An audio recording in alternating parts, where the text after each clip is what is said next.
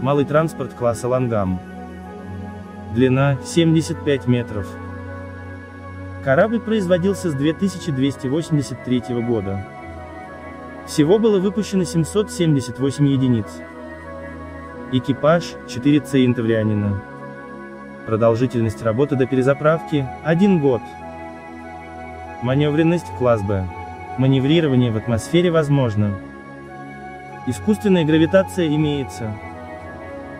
Гиперпространственный привод – нет. Двигательная система. Два квантово-гравиметрических двигателя Паркида 7.5. Силовая установка. Один квантово-гравиметрический реактор. Рассмотрим подробнее вооружение и оборудование корабля. Две импульсных пушки в РАМ-16.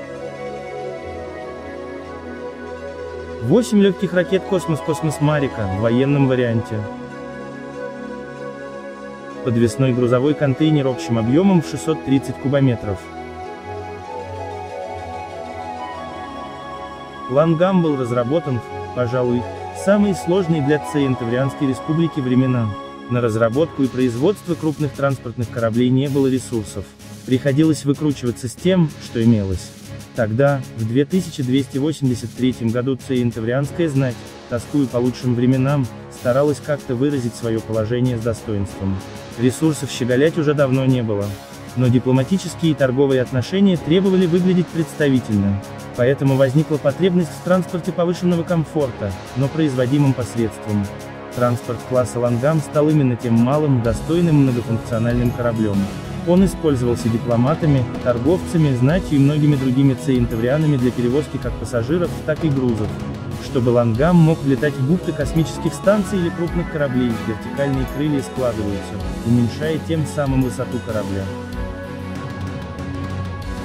Помимо внутреннего грузового отсека к Лангаму мог прикрепляться грузовой контейнер на внешней подвеске общим объемом 630 кубометров.